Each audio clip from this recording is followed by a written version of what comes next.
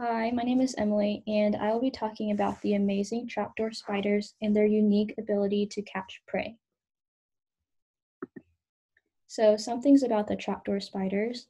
Their scientific name is the Ctenizidae, and they're in the phylum Arthropoda, subphylum Chelicerate, class Arachnida. Trapdoor spiders live underground for most of their lives, and they are found in many warm regions some of them being Japan, Africa, South America, and North America. Some characteristics that classifies um, trapdoor spiders as in the phylum Arthropoda is that they have jointed appendages. They have an exoskeleton made of cuticle, which leads to the process of ecdysis, which is where they shed that outer cuticle. They are coelomates, which means that they have a true body cavity with a complete lining derived from the mesoderm, which is one of the three prime tissue layers. They have two body sections, the cephalothorax and abdomen. They have an open circulatory system, which means that their blood is not contained in vessels. It is, the blood flows throughout their body, and they have a ventral nerve cord. So these trapdoor spiders are arthropods, and they have one of the scariest and craziest methods of catching their prey. So as you can see on the left, there's their trap.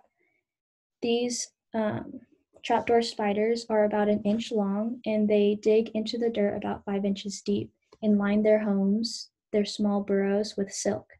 The silk is important because it helps keep the moisture in the burrow and makes it easier for the spiders to move around in their homes. Each of these burrows are each of those burrows have a trapdoor you can see right here. And on one side, there is a hinge made out of their silk in order for the other side to open and close. They also poke little holes on the top of their door so they can hold onto, onto the door with their legs to open and close whenever a prey comes or whenever a predator is trying to get in.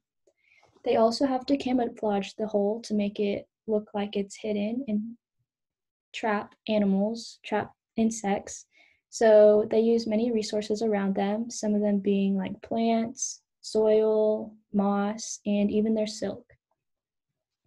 They also leave strands of sticky silk outside of their burrows and around it, so whenever insects do walk on it, they can feel the vibrations from it. So one thing that I found unusual about trapdoor spiders is their jaws and fangs are different than most common spiders. They have large jaw bases that project forward in parallel with their fangs, which are folded back side by side underneath them. So that means when they bite their prey, they have to raise the front of their bodies in order for the fangs to be positioned correctly over their prey. I would picture this as like a dagger stabbing into whatever it wants. So common spiders, they have jaws that are vertically under them, and their fangs are hinged laterally and bite crossways against each other like pinchers. So they are said to be more efficient. They are said to have a more efficient way of catching prey due to their arrangements of fangs and jaws. But trapdoor spiders also have an extra mechanism that they use by trapping their prey. So I believe that they have an, an efficient arrangement as well that's suited to their abilities. So because they are allowed to trap their prey and then bring them bring their food into their hole and eat it in a safe area whereas normal spiders would be eating it in the open area. Here's my works cited page and that's it. Thank you.